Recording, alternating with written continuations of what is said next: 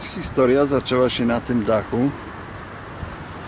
12 grudnia 81 roku, kiedy z komina wentylacyjnego, właśnie tego oto tutaj, wyjęliśmy podsłuch prowadzący do mojego mieszkania, a który to podsłuch był podczepiony do dachów i szedł sobie po tych dachach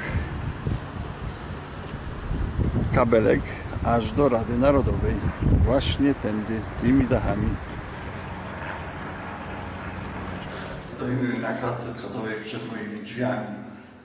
Y, Różnica jest taka, że moje drzwi zawsze były otwarte. Także y, często były spotkania, na które pojawiała się bezpieka i wchodziła jak po prostu po swoje. No, ale myśmy nie zamykali drzwi, jak przychodzi, nie wiem, 100 czy 150 osób, to nie ma co trzymać drzwi zamkniętych. Także, no i tak się wchodziło do mieszkania. 53.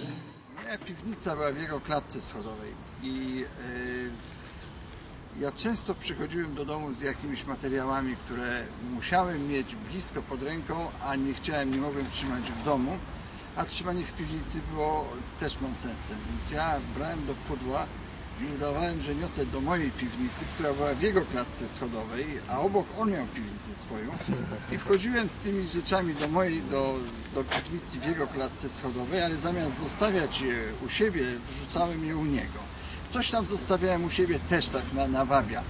Ale to wszystko u niego czas, ale nie stąd, gdzie byłem, tylko prosiłem kogoś, żeby wysłać ze Szczecina, z Wrocławia i tak, ale żeby... po, po, po, trzy- po 13 jak się ukrywałeś. Jak się ukrywałem, A. tak, tak. Także tu miał kilka... Bo pamiętasz, jak my się spotykaliśmy, ja ci przekazywałem. Tak, Pamiętasz? tak, tak, tak, W klatkach się, ale nakręcasz to, tak? W klatkach, rozumiesz? A najśmieszniejsze było to, że Paweł tak się ukrywał w Warszawie, że ja idąc na studia go spotykałem niechcący. Nie, nie, także nie było. Już żeście na kredytowej spotkałem Na niechcący. kredytowej tak, ale... To ale się, to płytko się utajniłeś, skoro cię znajomi spotykali po no ale ja byłem prze, przebrany, nie do poznania. Nie, O nie tak, oczywiście. jest- miałeś. Tu jest źle napisane, ponieważ to jest przedszkole na Mickiewicza, to było tak, to przedszkole było na Rybińskiego, tak, na Rybińskiego. mhm. No to, to To sobie super. A co dajesz mi to? Ci, prezencie? tak, No tak. dziękuję panie Bączku. Bardzo się cieszę, że cię rozpoznałem. To jest brama, tylko to nie jest ta brama, tylko ta brama jest po drugiej stronie podwórka, ale tam się remont odbywa, więc musimy to zainscenizować tutaj. Sytuacja jest taka, że Tomek Abramowicz z aparatem fotograficznym ja nawijamy na podwórko. Ja zamykam furtkę, to jest ta furtka i obejmujemy się tak z bramą, żeby oni, żeby ich zatrzymać. A Tomek ucieka na wskroś podwórka, żeby uratować zdjęcia tego podsłuchu i tych kabli i wszystkiego. No i oni przybiegli, zaczynają mnie walić po rękach z całej siły, wiesz, szar- szarpać. No wreszcie nie, nie mogłem wytrzymać, no to puściłem i zwiewam w nogi na środek podwórka. No i tam mnie na środku wreszcie złapali i zaczęła się kotłowanina. Wujka złapali mnie, bo od bramy uciekałem i złapali mnie tutaj na środku podwórka. I tutaj odbyła się główna bójka, w wyniku której się przewróciłem na ziemię i krzyczałem sąsiedzi, sąsiedzi, na pomoc, ratunku. Cała sprawa zakończyła się w tym miejscu, pomiędzy śmietnikiem, który tutaj jest, a Radą Narodową i był ojciec, ojciec obecnego dozorcy naszego domu, pan Gienion, w grupie osób, z którymi rozmawialiśmy i wyjaśniałem, co robi ten kabel łączący Radę Narodową z y, domami dalszymi. I w pewnym momencie do tej grupy osób powrócili ci ubecy, co mnie godzinę wcześniej bili na środku posesji w towarzystwie tej grupy operacyjnej. I właśnie tutaj ja ich poprosiłem, pomiędzy Radą Narodową a śmietnikiem, poprosiłem, e, ubecy poprosili wojskową grupę operacyjną o aresztowanie mnie, a ja poprosiłem ich, żeby aresztowali ubeków, bo mam tutaj świadków, że mnie bito. I na to oficer z tej grupy operacyjnej powiedział, że nikogo nie będzie aresztował, żebyśmy poszli po milicję, na co oni odeszli i tak się sprawa zakończyła. Na pamiątkę wspólnego kabla.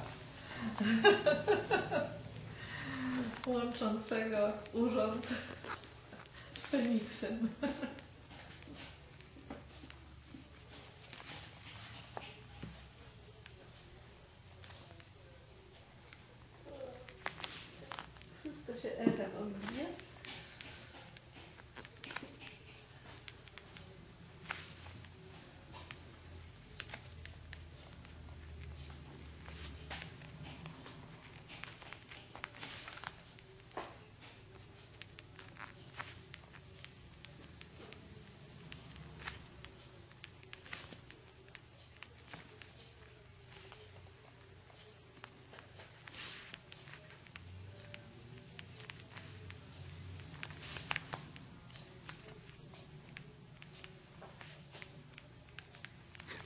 Pytała moje dzieci w przedszkolu, kto to jest Paweł, o którym wy mówicie. Dzieci zamiast zacząć że to jest Paweł, że to jest nasz Bączek. Bączek, ponieważ moja żona zawsze mówiła Bączek. A również y, mój, to nazywają, nazywali SOR, Studium Operacyjnego Rozpracowania, to co bezpieka tam miałem w takich tomach, jest 12 tomów SOR Bączek, oni dali mi Aha. kryptonim Bączek. To są wiersze, które do dzieci pisałem właśnie w stanie wojennym. A, no wspaniale. Ja Wie to- pan co, ja właśnie z tego okresu pana dzieci pamiętam, Tak. bo pamiętam, że ten syn chodził do przedszkola. Pamiętam jak e, żona opowiadała, jak e, przyszedł z przedszkola i mówi, mamo, e, był milicjant w przedszkolu, ale nikogo nie zabił. No, no to po prostu wstrząsnęło, bo mój syn miał wówczas 10 lat, czy tam 8 lat. Czy, y, bo to tutaj jest pomyłka, bo tu jest historia z przedszkola też, historia z przedszkola z Ale ja poproszę dedykację. historia z przedszkola, zaraz, zaraz to zrobię. Tylko to jest pomyłka, to nie jest na Mickiewicza, bo moje dzieci kiedyś chodziły na Mickiewicza. Ja nie wiem dlaczego, ja przeczytałem to drukując tygodnik Mazowsza. Nie, on, on chodził tutaj Chodził na... najpierw tutaj, To się jest przedszkole, nie pamiętam, na, Ryb... na Rybickiego, na Rybickiego, Rybickiego, tak. I, tak. Także akcja się dzieje nie na Mickiewicza, tylko na Na. Rybickiego. która akcja się skończyła tym, że przedszkolanki tak się wściekły obecnością bezpieki, która polowała na mnie w przedszkolu w urodziny Franciszki, że przedszkolanki włożyły znaczki solidarnościowe, w związku z tym dyrektorka przedszkola wsadziła je do kuchni i zamknęła je w kuchni. No, no tak. Tutaj jest to wszystko pisane z wyjątkiem, jest, jest błąd, bo to nie jest Niemskiego, to jest na Bardzo Rybickiego. serdecznie dziękuję.